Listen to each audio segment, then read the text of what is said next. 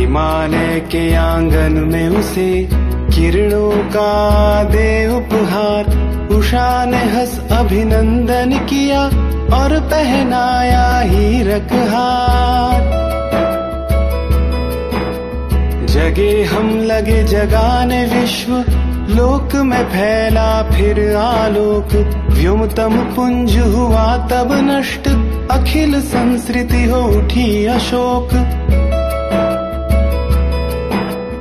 विमल वाणी ने वीणा ली कमल कोमल कर में सब प्रीत, सप्त स्वर सप्त सिंधु में उठे छिड़ा तब मधुर साम संगीत।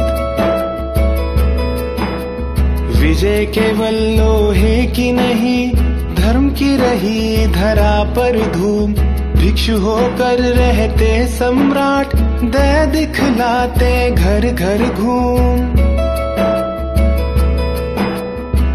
गोरी को दिया दया का दान। चीन को मिली धर्म की दृष्टि, मिला था स्वर्ण भूमि को रत्न, शील की सिंहल को भी सृष्टि। किसी का हमने छीना नहीं, प्रकृति का रहा पालना यही। हमारी जन्मभूमि थी यही, कहीं से हम आए थे नहीं। चरित्र पूत भुजा में शक्ति, नम्रता रही सदा संपन्न। हृदय के गौरव में था गर्व, किसी को देख न सके विपन्न। हमारे संचय में था दान, अतिथि थे सदा हमारे देव। वचन में सत्य, हृदय में तेज, प्रतिज्ञा में रहती थी टेव। वही है रक्त, वही है देश, वही साहस है वैसा ज्ञान, वही है शांति, वही है शक्ति, वही हम दिव्य आर्य संतान। जिए तो सदा इसी के लिए, यही अभिमान रहे ये हर्ष, निछावर कर दे हम सर्वस्व। हमारा प्यारा भारत वर्ष भारत महिमा इस कविता को सुनने के बाद अब हम इस कविता की पंक्तियों का अर्थ समझेंगे। हिमालय के आँगन में उसे किरणों का दे उपहार। ऊषा ने हंस अभिनंदन किया और पहनाया हिरकहार। जगे हम, लगे जगाने विश्व। लोक में फैला फिर आलोक। व्योमतम पुंज हुआ तब नष्ट। अखिल संस्कृति हो उठी अशोक। भारत महिमा इस कविता की इन पंक्तियों से भारत की महिमा का गुणगान करते हुए कवि जयशंकर प्रसाद कहते हैं कि हिमालय पर्वत के आँगन में उषा अर्थात सुबह की किरणों ने हंसकर भारत देश को किरणों का उपहार अर्थात भेंट दिया है। सूर्य की प्रातःकालीन किरणें जब ओस की बूंदों पर पड़ती है तब ऐसा लगता है जैसे भारत देश का अभिनंदन करते हुए उषा अर्थात सुबह की किरणें भारत देश को हीरों का हार पहना रही हो। सबसे पहले ज्ञान का उदय भारत देश में हुआ। अर्थात सबसे पहले हम भारतवासी ज्ञान रूपी किरणों के साथ नींद से जाग गए। समस्त, अर्थात पूरी दुनिया में अज्ञानता का अंधकार छाया हुआ था। उसे दूर करके सभी भारतवासी ने ज्ञान रूपी प्रकाश फैलाने का पुनित, अर्थात पावन कार्य किया, जिससे संपूर्ण सृष्टि के सभी दुख, शोक दूर हो गए। विमल वाणी ने वीणा ली, कमल कोमल कर में संप्रेत। सप्त स्वर सप्त सिंधु में उठे, छिड़ा तब मधुर साम संगीत। विजय केवल लोहे की नहीं धर्म की रही धरा पर धूम। भिक्षु होकर रहते सम्राट, दया दिखलाते घर घर घूम। भारत महिमा इस कविता की इन पंक्तियों से, कवि जयशंकर प्रसाद कहते हैं कि कि संगीत की देवी माँ सरस्वती ने अपने कोमल हाथों में वीणा उठाई और संगीत का अमृत पान भारतवासियों को करवाया।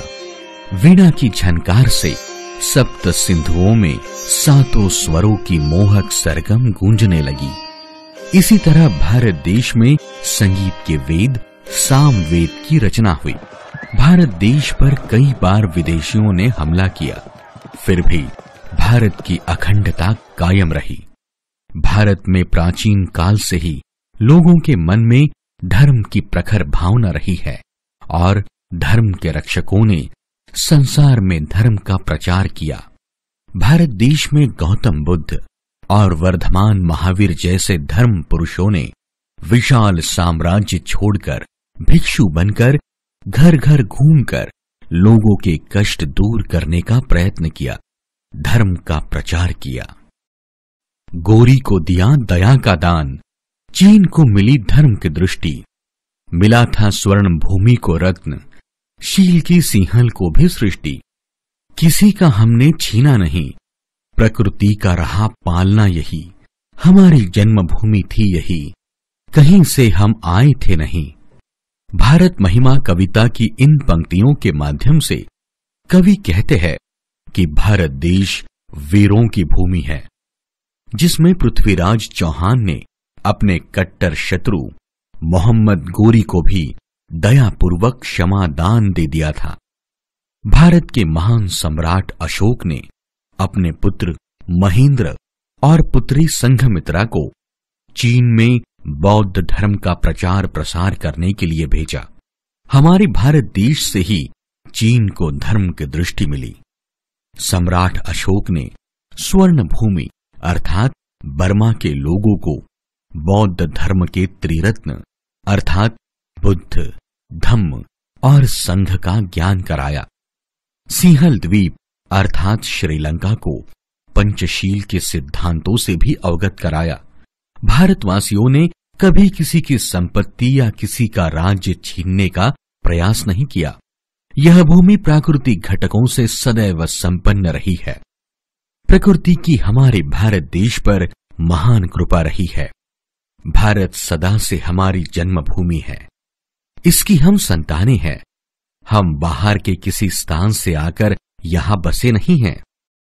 चरित थे पूत भुजा में शक्ति, नम्रता रही सदा संपन्न, हृदय के गौरव में था गर्व, किसी को देख न सके विपन्न, हमारे संचय में था दान, अतिथि थे सदा हमारे देव, वचन में सत्य, हृदय में तेज, प्रतिज्ञा में रहती थी टेव। भारत महिमा इस कविता की इन पंक्तियों से कवि कहते हैं कि हम भारतवासियों का चरित्र हमेशा से ही पवित्र रहा है। हमारी भुजाओं में शक्ति का संचार होता है। अर्थात वीरता की कभी कमी नहीं रही है। साथ ही विनम्रता, अर्थात नम्रता हमारा गहना है। हमने कभी अपनी उपलब्धियों पर घमंड नहीं किया है। हमें अपनी सभ्यता और संस्कृति पर गर्व रहा है। हम कभी किसी को दुखी नहीं देख सकते। दीन दुखियों की सेवा करने के लिए हम भारतीय सदैव तत्पर अर्थात तैयार रहते हैं। आगे कवि कहते हैं कि संचय करना अर्थात धन और संपत्ति इकट्ठा करना भारतवासियों की एक खूबी है। लेकिन उस संचय का उद्देश्य दान होता था। दान वीरता भारतीयों का गुण रहा है। हमारे देश में अतिथियों को सदा देवता समान माना जाता था। भारत के लोग सत्य बोलना अपना धर्म मानते थे। हमारे हृदय में तेज था, गौरव था। हम हमेशा अपनी प्रतिज्ञा पर अटल रहते थे, अर्थात हमारी प्रतिज्ञा दृढ़ होती थी। वही है रक्त, वही है देश, वही साहस है वैसा ज्ञान, वही है शांति, वही है शक्ति। वही हम दिव्य आर्य संतान। जिए तो सदा इसी के लिए। यही अभिमान रहे यह हर्ष। निछावर कर दे हम सर्वस्व। हमारा प्यारा भारतवर्ष। भारत महिमा इस कविता की इन पंक्तियों से कवि कहते हैं कि भारतवासी अपने अतीत के गौरव को नहीं भूल सकते। इतने युगों के बाद भी हम उसी भारत देश के निवासी हैं। आज भी हमारी रगों में वही रक्त है, वही साहस है, वही शांति एवं वही ज्ञान विद्यमान अर्थात मौजूद है। हम वही दिव्य आर्य संतान है, जिससे वर्तमान भारत में भारतीयता को जीवित रखा। भारतीय लोगों के मन में आज भी शांति और सामर्थ्य मौजूद है। हम अपना जीवन भारत देश के लिए समर्पित कर, प्रसन्न और गौरवान्वित है। हमें अभिमान है कि हमने इस भूमि पर जन्म लिया है। यह हमारा प्यारा भारतवर्ष है। यदि आवश्यकता पड़े तो इसके लिए अपना सर्वस्व भी न्यौछावर कर दे। संदेश। भारत महिमा इस कविता द्वारा हमें यह सीख मिलती है कि हमें अपने देश की संस्कृतियों और परंपराओं पर गौरव करना चाहिए और उस पर अपना सर्वस्व न्यौछावर करने के लिए सदा